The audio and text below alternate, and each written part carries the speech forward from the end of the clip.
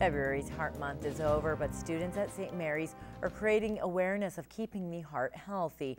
Anna Estanislao was at the last day of Jump Rope for Heart and has more. Almost 400 students skipped together for a good cause. The Skipathon wasn't just about raising money, but it was also on educating youth to stay active. This is important to me because my grandpa has some heart problems, and I feel like this is going to help and make it a little better. We've been raising money for the past three weeks, and so the kids go out and get sponsors for uh, for raising money for Jump Rope for Heart. According to the Heart and Stroke Foundation, more than 26% of Canadian children and youth are overweight or obese, putting them at risk for heart disease. It's a win-win situation. The kids are active, they stay healthy, they're raising money to help others to get healthy. And I even joined in on the fun.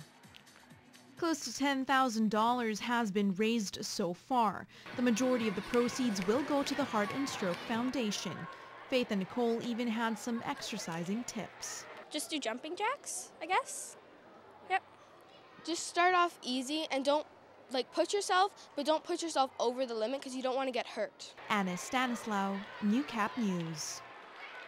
The weather may not be the greatest, in this installment of What's Happening, Michael Gordon takes a look at some weekend events that will make you forget about the snow.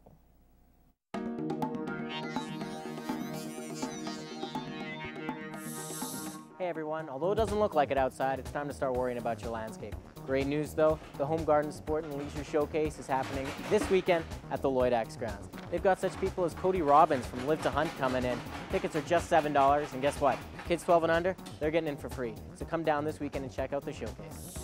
And this weekend, you also have a chance to catch some world-class Ukrainian dancing at the 8th Annual Ukrainian Dancing on the Border Festival at the Vic Juba. They've got dancers from all over Alberta and Saskatchewan coming. And hey, guess what? You want a little bit of Ukrainian merchandise? They got some vendors on site for that too. Be sure not to miss. And to rock up your weekend, we've got a great giveaway.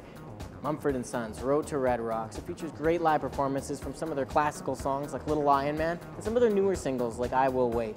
You want a chance at this, all you got to do is email your name and daytime phone number to tvcontest at newcap.ca. We want to say thanks to John at Universal Music Canada for setting us up with the DVD. And finally, you can catch a great show tonight accompanied by a great supper. Jerry Hawks, great country music impersonator, is going to be joining us at the Legacy Center. You can still get your tickets. Well, whatever you choose to do this weekend, I hope you have a great one. I'm Michael Gordon, and that's what's happening.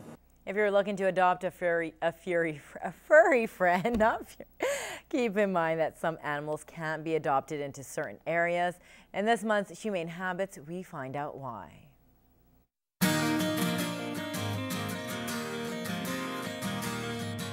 Have you ever wondered why the SPCA does not adopt animals into the same area they came from when impounded by a bylaw officer? There are numerous reasons why this protocol is in place. When a dog is impounded by a bylaw officer, the fees owing are much higher than if it were brought in by a member of the public. This is because the animal was caught by the authority while the animal was running at large, which is illegal. Therefore, the fines owing are city fines, not SPCA fines. The fines owing at minimum would be $55 and could get into the multiple hundreds depending on whether the animal is licensed, spayed or neutered, how long the animal sits in the shelter before being claimed, and if we had to vaccinate it. If that animal is not claimed by its owner and the fines are not paid, the SPCA needs to pay those city fines. Sadly, more often than not, we see the fines owing are higher than the cost of our adoption rates. So the main reason we do not adopt impounded animals back into the area they came from is so the owner cannot avoid their fines by just adopting back their own animal.